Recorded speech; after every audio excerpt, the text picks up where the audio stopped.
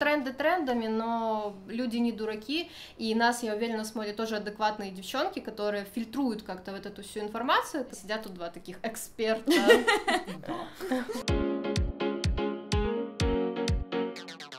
Сегодня мы с вами поговорим о самых горячих трендах на осень Диму 2017 года. И как видите, я сегодня не сама, со мной замечательный блогер Оля. Всем привет. А, она тоже с Одессы, мы наконец-то Наконец-то. наконец-то, да, решили, э, решили собраться и снять э, для вас совместное видео. А, прошу ее очень тепло встретить в комментариях. И также на ее канале мы сняли видео. Не менее интересное. Не менее интересное. Я, в общем-то, очень вам рекомендую зайти потом по ссылке посмотреть тоже видео на ее канале, потому что мы будем вспоминать мучительную правду ошибок макияжа. Прошлое. Да, ошибок макияжа прошлом. Да, и я думаю, вы обязательно найдете что-то и для себя, в том плане, что вы вспомните, что вы делали такие же ошибки.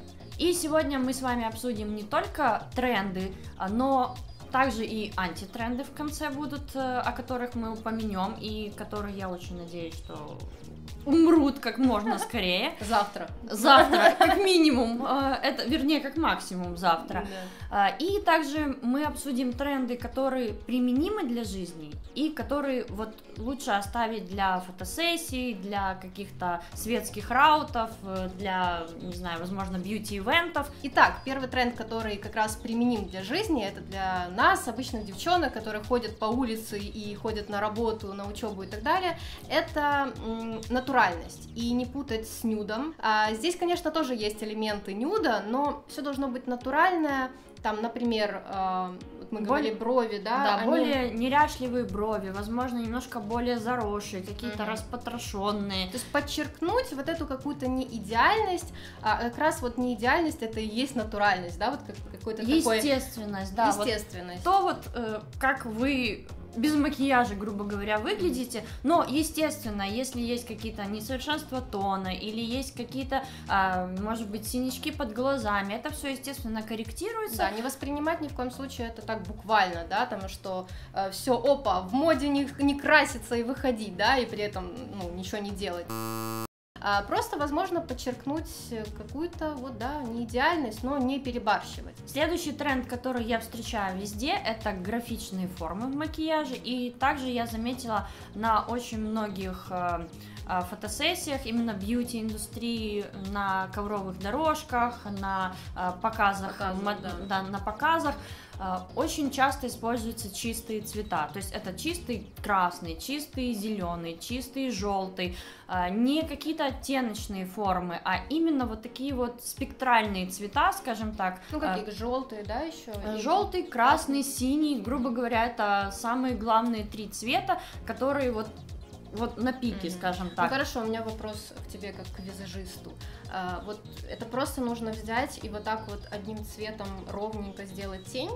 Ну смотри. Или а... про стрелки речь идет? Ну вот для жизни я это вижу для больше, жизни. возможно, в стрелках. Mm-hmm. Потому что если это fashion какая-то фотосессия, допустим, это могут быть и тени, вот матовый, глухой uh-huh, матовый uh-huh. цвет, который нанесен на века, например, может быть где-то чуть-чуть подтушеван, а может быть и нет, потому что, как я и сказала, это графичные формы, это могут быть какое-то построение, я не знаю, прямоугольников, квадратов, там чего угодно, то есть э, если это именно авангард, если э, это high fashion, то там применимо все. Но для жизни я предполагаю, что это можно применить вот в качестве стрелки, потому что стрелка это самый графичный элемент, но в то же время применимый, mm-hmm. который вот действительно каждая девушка себе может позволить. Да, и, наверное, если у вас э, нету яркой подводки, то, я так понимаю, можно взять помаду, а, кстати, ну, почему бы и нет? Если есть яркая матовая стойкая помада, то ну зачем покупать, да, там на один сезон, или хотя бы просто поэкспериментировать, э, будет ли вам хорошо, потому что то, что применимо и красиво на одном, не обязательно это будет красиво для вас, поэтому а, попробуйте. Давай теперь с тобой поговорим о трендах, которые тоже часто встречаются везде, но в то же время мы считаем, что лучше с ними не экспериментировать mm-hmm. в реальной жизни. Да. А, вот я видела такой тренд, где гипертрофированно можно использовать румяна, то есть а, делать такой хороший русский румянец, вот. Но опять же, вот если вот, например, я э, решила так, я хочу быть трендовая. Делаю себе вот такие вот щеки, причем что э, еще и в технике дрейпинг это mm-hmm. приветствуется, то есть растяжкой. А, и вот выйду я вот в местный магазин, да, меня не поймут. То есть, естественно, все будут думать, что я переборщила, я не умею пользоваться косметикой. Мне кажется, это неприменимо.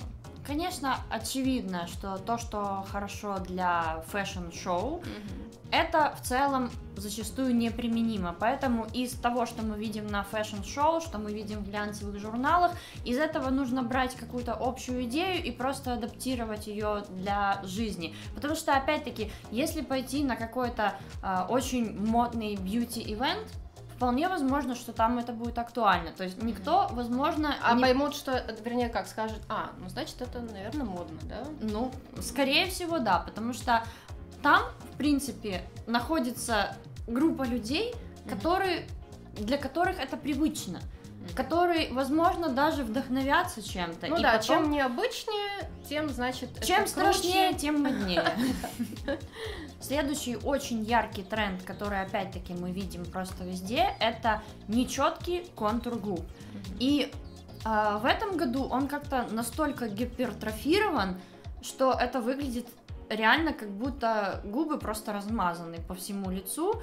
И так как сейчас на губах возвращается глянец, то есть не только матовые текстуры мы видим, а больше глянца, больше металлика, то этот размазанный глянец ну, выглядит очень сомнительно, особенно для реальной жизни. Для каких-то фотосессий, вот Оля, кстати, фотограф, угу. очень крутые фотки делает. Вот Спасибо. скажи, вот для фотосессии, вот круто же будет, вот такие вот губы. Ну, опять же, смотря какая съемка, если это какая-то бьюти-съемка, то, возможно, это будет круто. В целом, если говорить про этот тренд, его же можно разграничить. А, ты говоришь конкретно о том, где эффект омбре, где вот здесь вот темненькое, а вот здесь вот светленькое? А, да, это и это в том числе, но при этом сейчас я вижу, что вот это светленькое, угу. оно уже за границей губ. То есть оно реально выглядит так, как будто вы, как свинья, поели гамбургер, mm-hmm. к примеру, и после этого у вас fashion look получился. Mm-hmm. И на закуску мы приготовили самое интересное и самое лучшее это антитренды. Вернее, как, это в нашем понимании антитренды, Абсолютно. потому что на самом деле мы это видим сплошь и рядом все равно. То есть Соцсети, это... да, в основном Инстаграм, вот, э, ну, YouTube как-то ну, частично, да. Вот Инстаграм это просто, я не знаю, может мы с тобой на какие-то такие странички подписаны просто? Ну, мне кажется, это невозможно пропустить, то ну, есть да. если ты в соцсетях находишься, ты в любом случае на что-то такое попадешь. Это сто процентов. И я думаю, что первый тренд, о котором ты сейчас будешь говорить, вы сейчас сразу все поймете и видели сто процентов, сто. Первое, о чем я мечтаю, чтобы это ни в коем случае не распространялось как э, какой-то зл- зловредный вирус, это wavy brows, wavy lips, wavy все что угодно. Это просто какой-то кошмар. Чтобы просто остался wavy hair. На самом деле, мне кажется, этот тренд, я его в кавычки даже заключу, потому что он неприменим, на мой взгляд, ни для фотосессий. Вообще. Ни для показов. Ни... Я представила, как ко мне девочка приходит чудо такое, типа, Давай. Да, вот я на фэшне.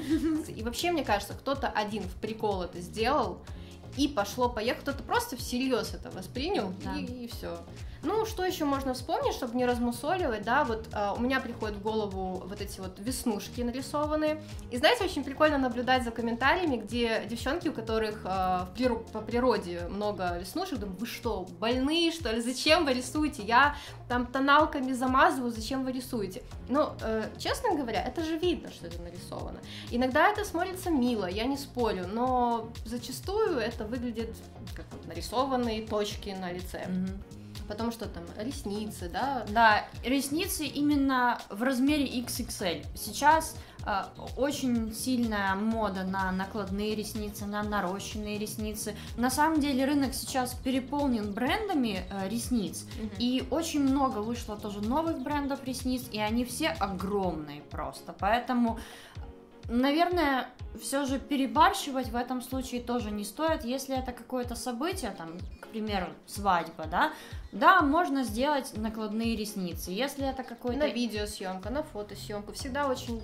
Э, любая фото-видеосъемка съедает макияж 50%, поэтому э, даже мы, да, когда снимаем видео, мы можем накраситься чуть-чуть больше, чем мы бы накрасились, может быть, там, на каждодневной основе. Вот, это просто всегда нужно учитывать, когда и при каком случае. То есть все должно быть в меру. Поэтому... Хотя иногда, слушай, я встречаю, вот э, встречаю вот такие вот опахалы, там работник банка, да там, блин, ну вот я, честно, может быть, это мое субъективное мнение, я когда вижу такой макияж, которого нет, но есть только длиннющие ресницы, я вижу только ресницы. Я на человека смотрю, я не вижу ни глаз, ни губ, да, ни каких-то такое... ни какие-то черты лица, я не я просто вижу ресницы и все. Ну вот, собственно, и все. Мы разобрали с вами основные тренды. Ну, опять-таки, что бы мы ни говорили, если антитренды или тренды или что угодно приносит вам счастье, то ну продолжайте это делать, никого не слушайте, ни экспертов, ни, ни экспертов экспертов, в общем-то,